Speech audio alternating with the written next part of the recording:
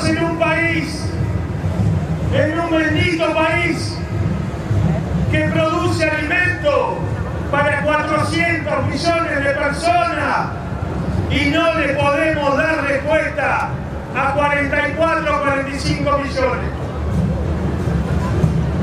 ¿Saben lo que está pasando en los barrios populares?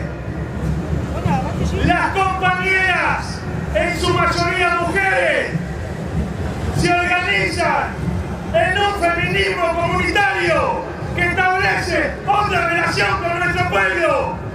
Hacen la comida para millones de pibes y pibas.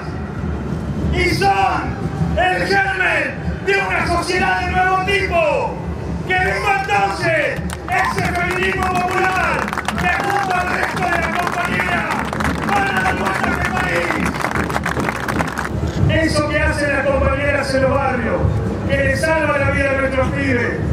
En serio, compañeros, nos va a salvar la vida a nosotros. Nosotros tenemos que dejar de lado el patriarcal del machismo.